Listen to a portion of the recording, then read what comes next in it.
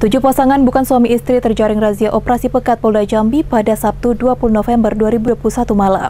Kesemua pasangan yang tak bisa menunjukkan bukti pernikahan itu langsung dikiring ke Mapolda Jambi. Sabtu malam, tim operasi pekat Polda Jambi kembali menyisir kamar kos dan hotel Melati di kota Jambi. Hasilnya petugas kembali mengamankan tujuh pasangan bukan suami istri dari masing-masing kamar di MJS Hotel dan Lumajan Kos di kawasan Palmera dan V Hotel di Simpang Rimbo, Kota Jambi. Pasangan yang tak bisa menunjukkan bukti pernikahannya langsung dikirim ke Polda Jambi. Kasubdit Renakta di Treskrim Polda Jambi AKBP Christian Adi Wibawa mengatakan pasangan yang terjaring tersebut didata petugas dan diberikan sanksi wajib lapor. Dalam operasi pekat tersebut, polisi juga mendalami kasus prostitusi online dan jika ditemukan bentuk-bentuk pidana dan eksploitasi, polisi akan menindaklanjuti.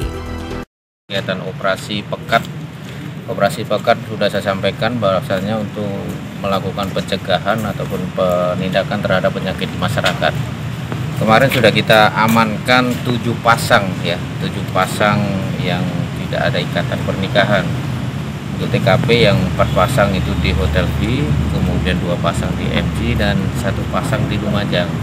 Nah kegiatan-kegiatan ini kemarin kita didukung dengan eh, selain satuan kita Polda itu dengan Pol PP kota yang melekat di sana.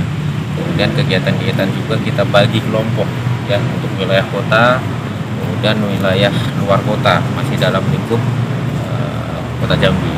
Nah, dalam penindakan tersebut uh, sudah kita lakukan identifikasi terhadap pasar tersebut selain kita juga melakukan pengendalian-pengendalian uh, pungli dan premanisme.